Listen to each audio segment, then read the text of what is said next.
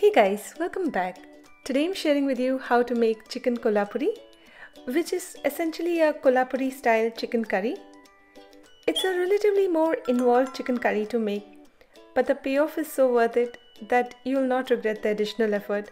And this deliciously spicy kolhapuri style chicken curry will become your go-to chicken curry for special occasions or just the weekend. So let's get started. To start with marinating the chicken, for which you'll need chicken leg quarters. I have used 3 pounds here since I usually always make a bigger batch of this curry.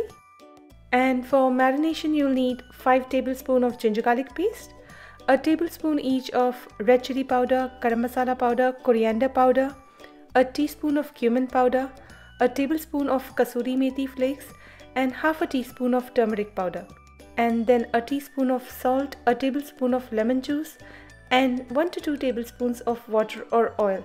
I usually go with oil. Now mix all the ingredients together to make a marinade.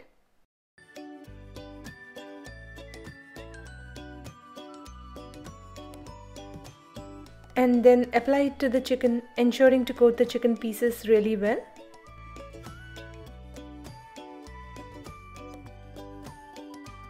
And ideally it's best to marinate this chicken for at least 4 to 6 hours for it to really absorb the spices well. Then here are the ingredients you'll need to make the kolhapuri curry base. Whole spices like 1 bay leaf, 2 inch cinnamon stick, 7 peppercorns, 1 black cardamom, 5 green cardamom, 7 cloves and 1 mace, a teaspoon of cumin seeds, 2 whole dry red chilies, 4 tablespoon white sesame seeds, 2 tablespoon coriander seeds, 2 tablespoon white poppy seeds, and a tablespoon of Kashmiri chili powder, 2 teaspoons of red chili powder, about 2 and a half teaspoon of salt, and half cup dried desiccated coconut. Then 2 cups of chopped onions, 3 4 cup of chopped tomatoes, 8 cloves of garlic roughly sliced, about half cup of chopped coriander leaves, and oil for making curry and water too. Now to begin with, in a wide pan, heat up half cup of oil and then add in 1 teaspoon cumin seeds. When the cumin seeds start crackling, add in 8 cloves of garlic roughly sliced and saute for 2 to 3 minutes till the garlic just about starts changing color.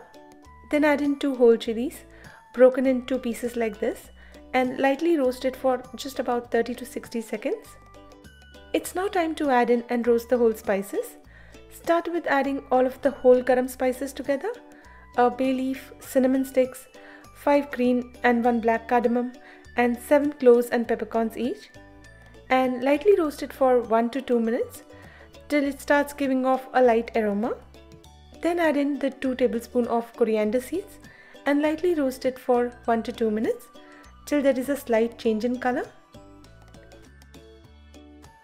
after which add in 4 tablespoons of sesame seeds and lightly roast it for another 1 to 2 minutes till there is a slight deepening in color. And here there is a reason I'm choosing to roast the spices in this order, adding the bigger coriander seeds first to give it a head start compared to the smaller sesame and poppy seeds so that everything gets evenly roasted. Now finally add in the 2 tablespoons of poppy seeds and lightly roast it for 1 to 2 minutes till it starts to slightly change color. When the whole spices have been roasted, add in 2 cups of chopped onions and a teaspoon of salt and saute till the onions turn light golden brown in color. This might take about 15 to 20 minutes or so, but it's a crucial step so it's best to not skip or rush it. And this is where using a wide pan will really help by speeding up this process. When the onions are done, add in 3 4 cup of chopped tomatoes. Mix it in. And a teaspoon of red chili powder. And mix everything together. And saute for about 5 minutes or so till the tomatoes cook down a bit. And then turn off the flame. Then in another pan, dry roast half cup of dry desiccated coconut till it gets lightly roasted and turns light reddish in color. This should take only a few minutes, but ensure to do this on a relatively low flame so that it gets evenly roasted without getting burnt. When done, add this to the main roast and mix it in.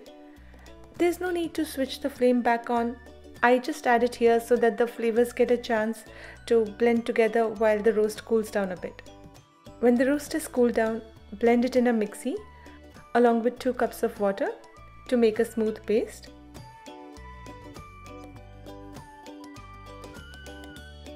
This will be the Kolhapuri masala paste for the chicken curry. Now for making the curry, in a large heavy bottomed pan, lightly heat up 3 tablespoons of oil and to it add 1 tablespoon of Kashmiri chili powder and mix it in and lightly roast the chili powder on low flame for just about 30 seconds or so ensuring that the oil is not too hot or the flame too high else the chili powder will burn. Then add in the blended masala base from the mixie. A teaspoon of red chili powder.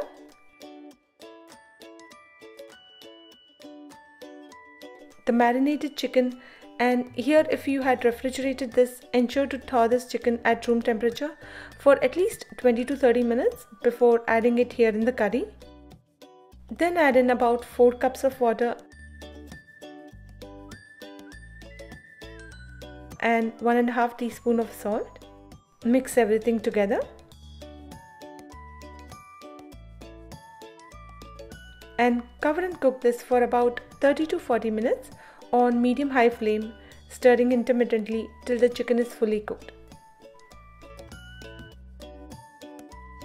When done, add in the chopped coriander leaves